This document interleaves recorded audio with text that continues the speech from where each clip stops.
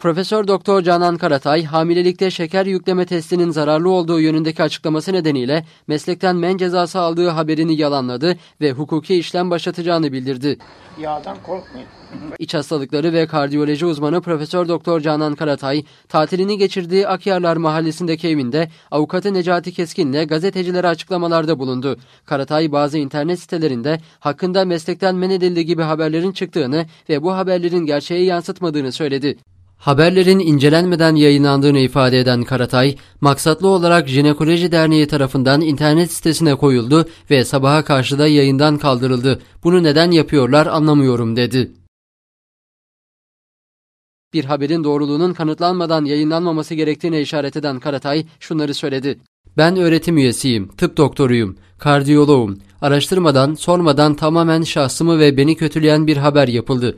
Buna karşı tedbir alacağız. Avukatımla beraber birlikteyiz. Gereken suç duyurusunda bulunacağız. Benim için konusu olmadığı halde konuşuyor, halkı galeyana getiriyor şeklinde iddialarda da bulunuyorlar. Ben bir hekimim ve bu konular beni ilgilendiriyor. Karatay, bu konuda 6 tane kitap yazmış bir insanım. Halkın kafasını karıştırdı diyorlar. Halkın kafasını kendileri karıştırıyorlar. Halk sorgulamasını öğrenecek ifadesini kullandı. Çıkan yanlış haberlerin ardından Türk Tabipler Birliği'nden de açıklama yapıldığını vurgulayan Karatay şöyle konuştu. TTB'de böyle bir karar Karatay için kesinlikle yoktur dedi. Meslekten men etme diye bir olay olamaz. Bunu haberciler sansasyon olsun diye yazıyorlar. Meslekten men edilmek ne demek? Ben haksız yere karaciğer nakli mi yapıyorum? Ben dışarıdan bıçak parası mı alıyorum 15-20 bin dolar? Bunlar oluyor. Bunların peşine düşsünler. Suç duyuruları Nisan ayında yapılmıştır. Daha önce de 12 Kasım'da yapılmıştır. Üzerinden 3 ay geçmiş, siz neyin haberini yapıyorsunuz? Kasıtlı olduğuna benim halk kadın olduğuma, halk adamı olduğuma dünya inandı. Brezilya'dan, Peru'dan mesajlar geliyor arkanızdayız diye.''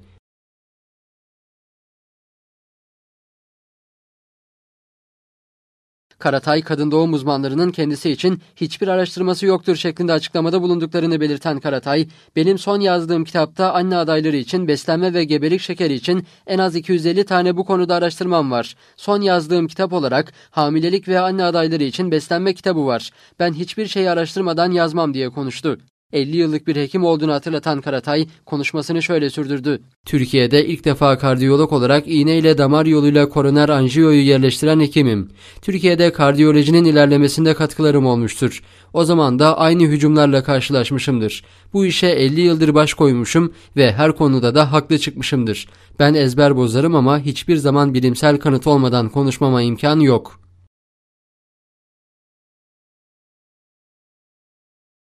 Canan Karatay'ın avukatı Necati Keskin ise Türk Jinekoloji ve Obstetrik Derneği'nin bir haber yayınladığını, bu haberin tüm görsel medyaya servis edildiğine işaret etti. Canan Karatay hakkında yapılan bir şikayetin olduğunu ancak bunun onur kurulunca inceleme altına alındığını anımsatan Keskin bu konuda herhangi bir kararın çıkmadığını belirtti.